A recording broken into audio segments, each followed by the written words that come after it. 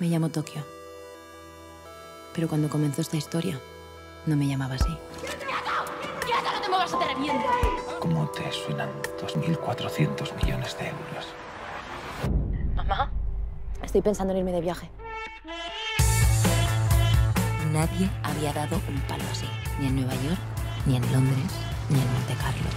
Así que si mi foto volvía a los periódicos, al menos que fuera por el atraco más grande de la historia. Que cada familia de este país estará preguntando qué estamos haciendo. ¿Qué vamos a robar?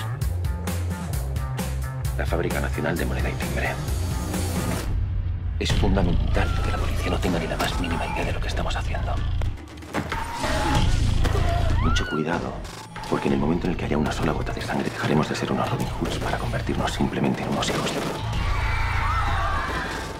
de... ¡Es la hora! Confiar en nosotros y obedecer. Pero toda esa paz solo era la calma chicha que precede a la tormenta.